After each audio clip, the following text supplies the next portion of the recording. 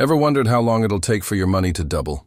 Well, let me introduce you to a fascinating financial hack that's been around for centuries, the Rule of 72. It's like having a crystal ball for your investments, but way more reliable. Here's the beauty of it.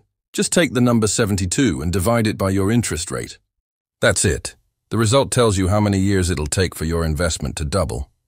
No complicated calculators needed, no advanced math degree required. Let me show you how magical this is with some real examples. Say you found an investment that offers a 6% annual return. Using the rule of 72, we divide 72 by 6, which gives us 12. This means your money will double in about 12 years. Pretty cool, right? But wait, it gets even more interesting. Let's say you're looking at two different investment options. One offers 4% interest, while another promises 8%. With the rule of 72, you can quickly figure out that at 4%, your money doubles in 18 years, but at 8%, it only takes 9 years.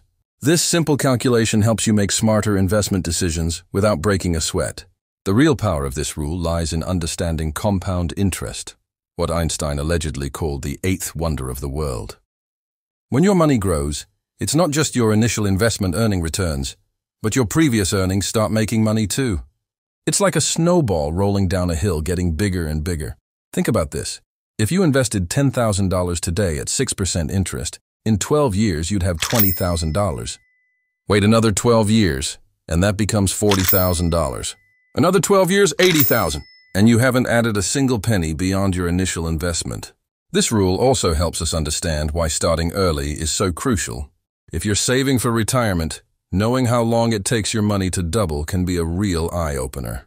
The difference between starting at 25 versus 35 could mean having twice as much money when you retire.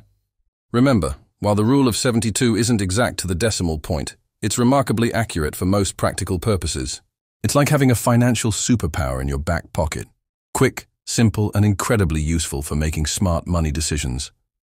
So next time you're looking at investment options or planning your financial future, Remember this simple yet powerful tool.